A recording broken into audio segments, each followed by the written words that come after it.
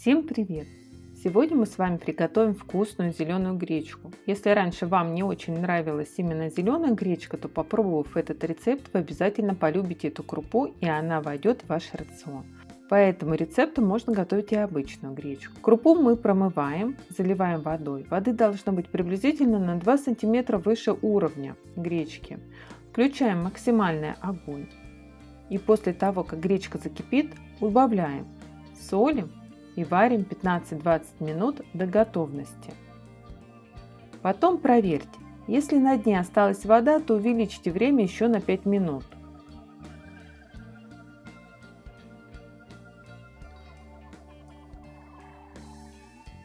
Берем луковицу и нарезаем ее полукольцами.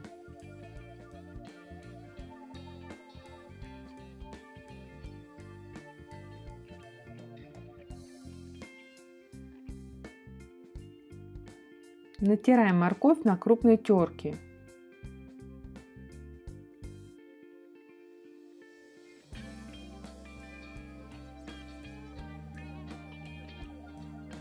И измельчаем чеснок.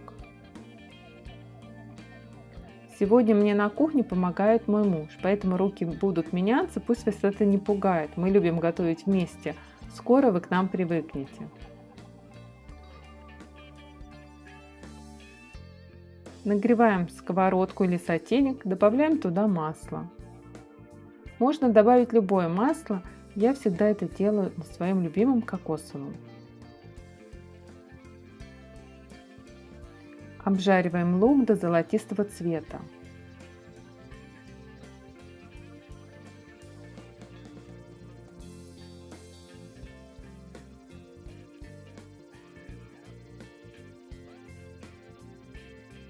Не забывайте периодически помешивать, чтобы ваш лук не пригорел.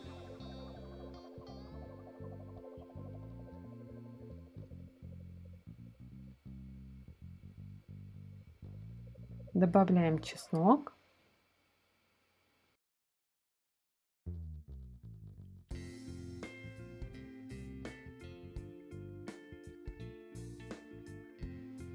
И морковь.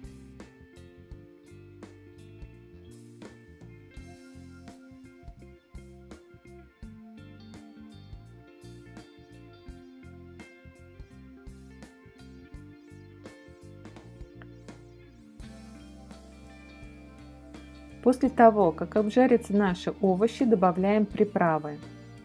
Пол чайной ложки розмарина, чайную ложку паприки, пол чайной ложки базилика, 1 треть ложки сухого имбиря,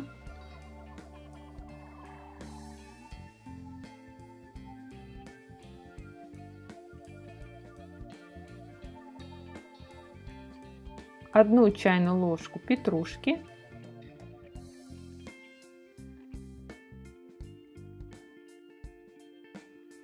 добавляем 150 миллилитров воды,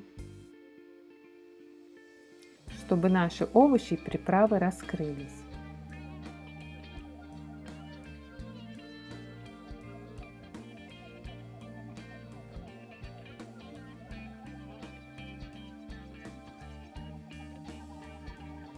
Соль.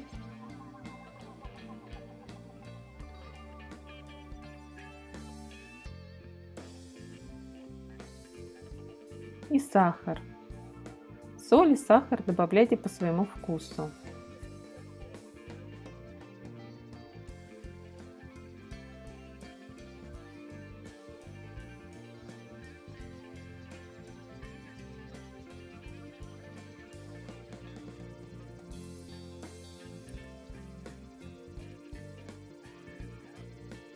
Еще пару минут и добавляем сметану.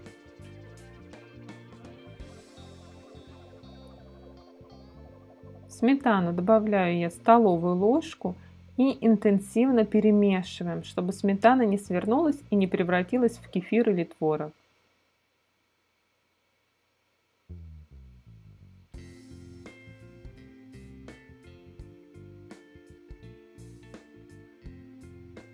Даем еще пару минут потушиться.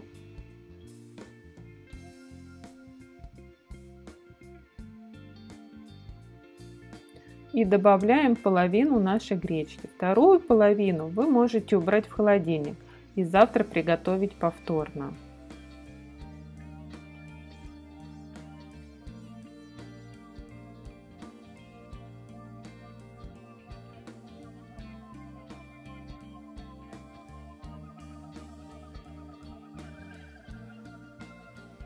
Добавить еще немного воды, около 100 миллилитров.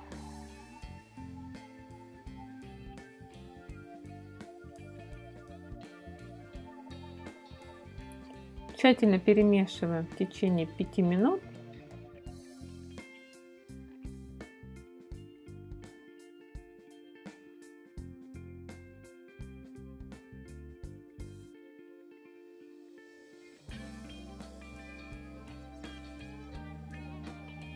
И наше вкусное ароматное блюдо готово.